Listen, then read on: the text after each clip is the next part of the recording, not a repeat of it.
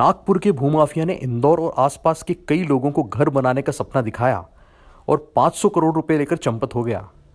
इसमें कई लोगों का रिटायरमेंट का पैसा था तो कई लोगों की गाड़ी कमाई। अब थाना तेजाजी नगर ने पीड़ितों की शिकायत के आधार पर आरोपी के खिलाफ एफआईआर दर्ज कर ली है।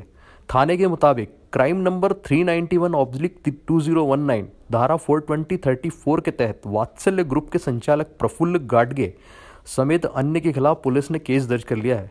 लेकिन पुलिस आरोपी को गिरफ़्तार नहीं कर पा रही है, जबकि पुलिस रिकॉर्ड में फरार आरोपी प्रफुल्ल गाडगे अब शिकायत करने वालों से समझौते के लिए दबाव बना रहा है। लगातार उनसे फ़ोन पर संपर्क कर रहा है, कह रहा है कि मामला बाहर ही निपटा लेते हैं, और जबकि पुलिस कह रही है कि आरोपी की लोकेशन नहीं मिल रही है। पुलिस और आरोपी की मिली भगत से पीड़ित लोग परेशान हो रहे हैं। देखिए वीडियो।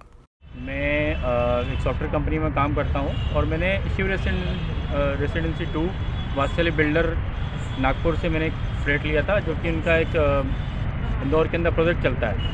और मेरा जो प्लॉट का साइज़ था वो 1800 स्क्वायर फीट है तो पाँच सौ पर स्क्वायर फीट के रेट से मैंने ये प्लॉट लिया था। और अब मैंने दो, मैंने 30 नवंबर 2011 को इनके साथ एग्रीमेंट कराया हुआ है और आज 29 दिसंबर हो चुका है 2020 11 साल के अंदर 11 साल एक महीने के अंदर हमें कोई न्याय नहीं मिला है ना कोई रिफ़ंड मिला है हमें। और ये बताया गया है कि हम आपको दे रहे हैं डिमांड ड्राफ्ट दे रहे हैं लेकिन अभी तक ना हमें कुछ मिला है ना कोई रजिस्ट्री हो रही है कोई सारे फरार हैं। और इनसे कांटेक्ट भी करो तो ये कोई हमें जवाब नहीं देते हैं। आपने एफआईआर दर्ज करवाई है? एफ़ दर्ज है।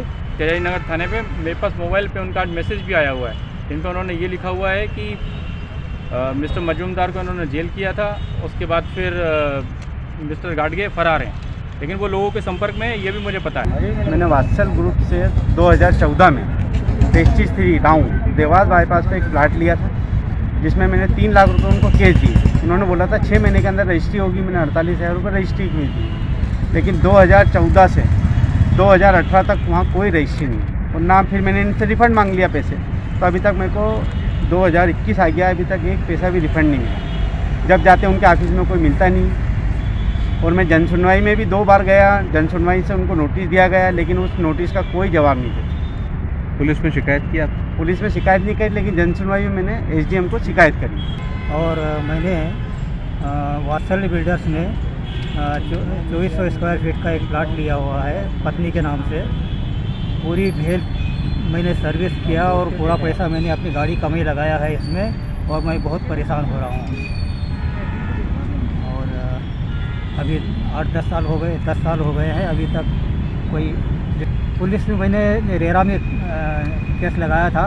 रेरा में मेरे फेवर में केस दिया हुआ है कि इनका जितना भी पैसा लगाया हुआ है इनको आठ परसेंट के हिसाब से इनको वापस किया जाए।